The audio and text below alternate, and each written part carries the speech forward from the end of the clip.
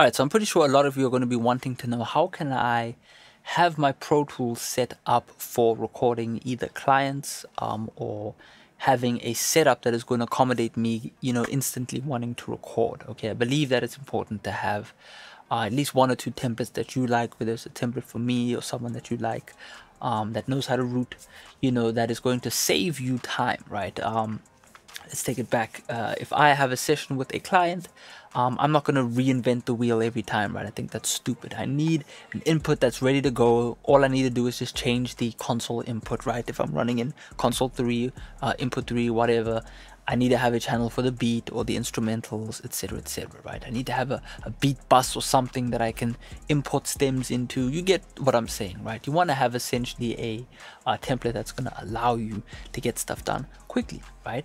Um, and so there are kind of certain characteristics that you're going to need, um, you know, when it comes to creating a viable template.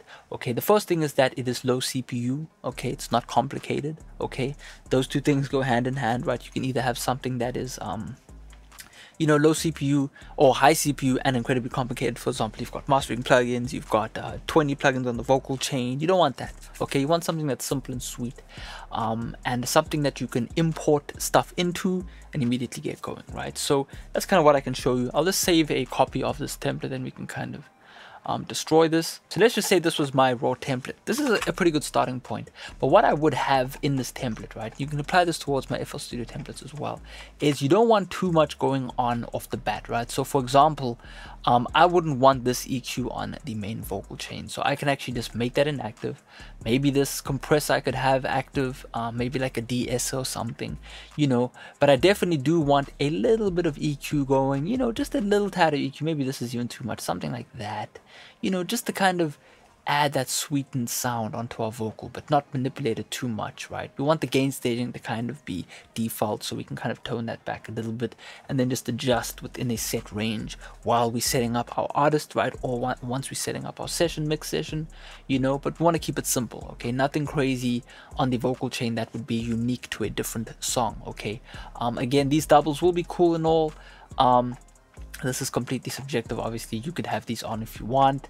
Um, you could do the doubles on the spot. I think it's always quite fun to do doubles on the spot because you always end up with unique vocal chains like what you saw earlier in the course right? I made this up from scratch and it was fun and we had fun right? So you know that's subjective but definitely you need everything uh, routed, right? Because routing, you saw how long it actually takes. It takes a couple minutes to set up our routing. If you have an artist who's ready to record, don't want to waste time, right? So, you know, you get the idea um, you know, you want your vocal bus so you can turn down all the vocals at once. You want to be able to turn down the beat at once.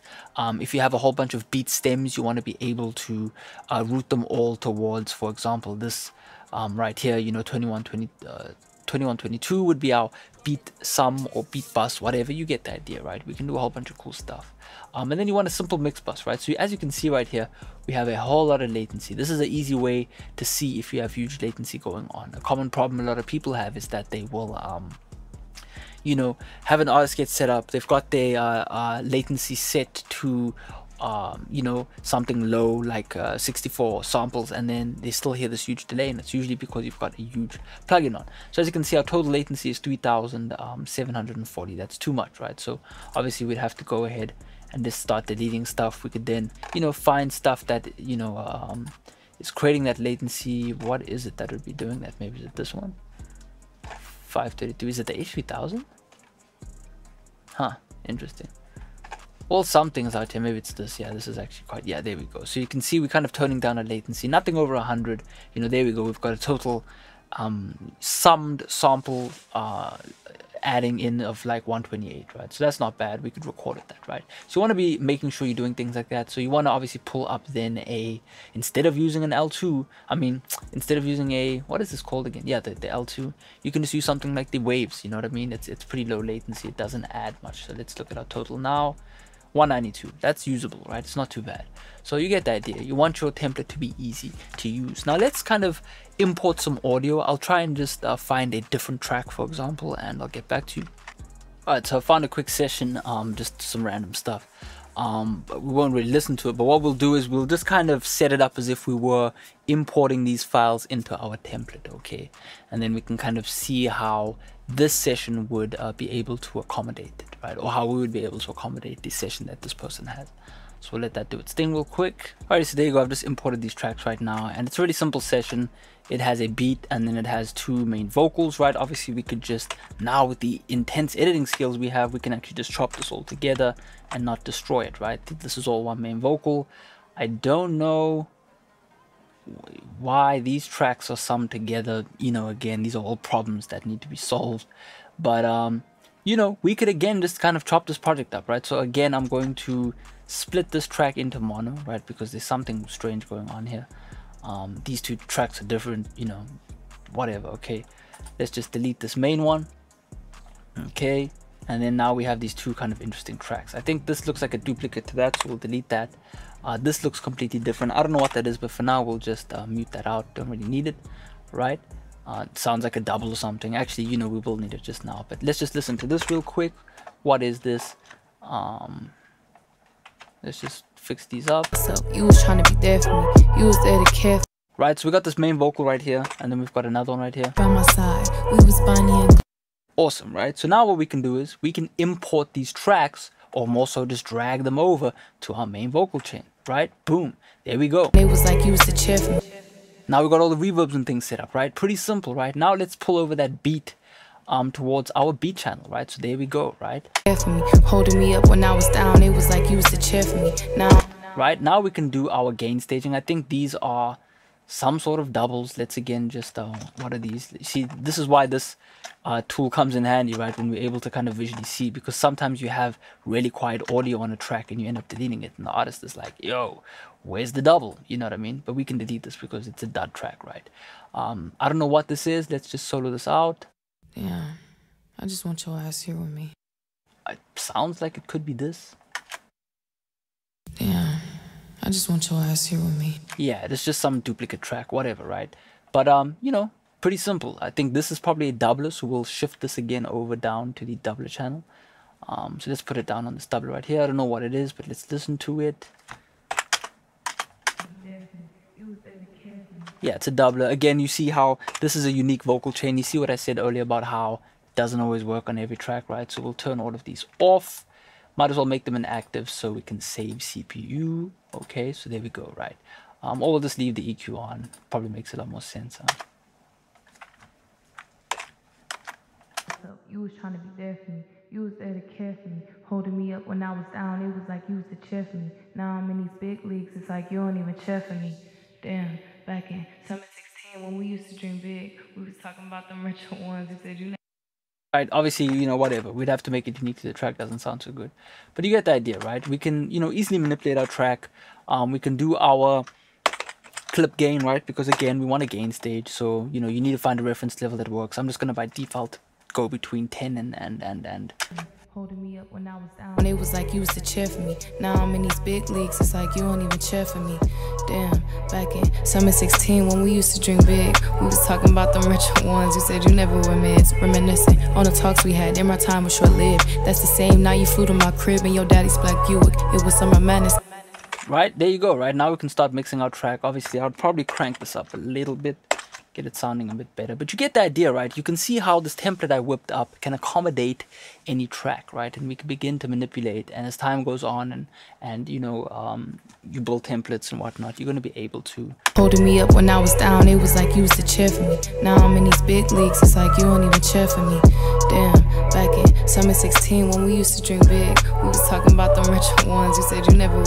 Reminiscing on the talks we had, then my time was short. Right, you get the idea. I would obviously have to mix this track, but there you go. That's pretty much how I would set up a client template. It's simple, right? When I'm at the end of the template and I'm ready, I can print the track, right? Maybe the, the client wants me to render out some of the beat, uh, the mixed beat, right? I can do that. I can have a, um, you know, I can create literally a um, aux for every subgroup. So for example, I can have the mixed vocal. Um, let's do this. Um, create a new track stereo audio track, right? We'll, we'll, we'll just use one as an example. But let's say we have main vocal um, effects, right? And basically this is just a print track, right? Um, for reference. But again, we could then um, create that dual send. So let's go to 22 and 24. Whoops. Um, what have I just done now? Um, this needs to go to the mix bus as well, right? Okay. There you go, right? So now we have 23 and 24 as our render bus, right? And then essentially we could render down this mixed vocal. And we could do that with all the different stems right? So we could have one of these files for the mixed beat one of them for all of the background vocals. Again you don't want to be too um open to printing every little thing because it's going to make your life hell. It's going to make your computer full of junk um, you know, you can do one for the effects bus. Essentially, do one for all of your buses and groups. That way, your client can walk away with a mixed file um, with all of the stems, right? Meaning they can actually go in and do a concert with just the beat. You know what I'm saying? Or maybe they can render down a version of a um, beat with ad libs or something. Obviously, they won't have the mastering, but those are things you have to negotiate, right? I'm just giving an example. So we can see right here, we could render down there for me. You was there to care for me, holding me up when I was down. So obviously now this vocal would have the SSL um, EQ on it, right? So you know you get the idea, man. Lots, lots we can do, but at the end of the day, you want a template that's going to be able to accommodate everyone. Because just say um, this girl right here, I think her name was Dana.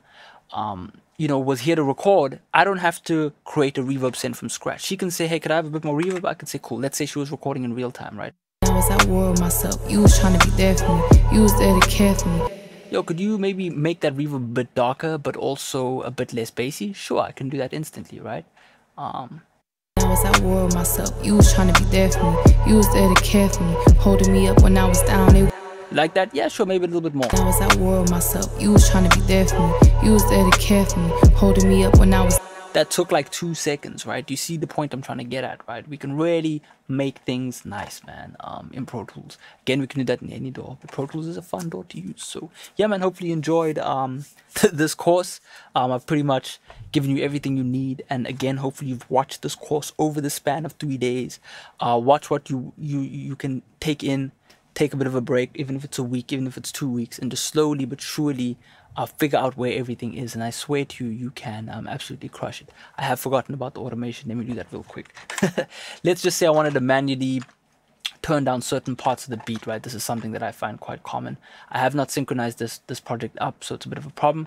But let's just say I wanted this part of the track to be a bit louder, right? What I could actually do is I could go to volume, okay?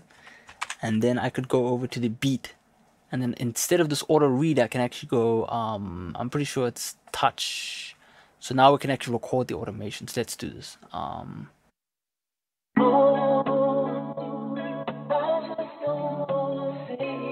Hey, turn me up real quick.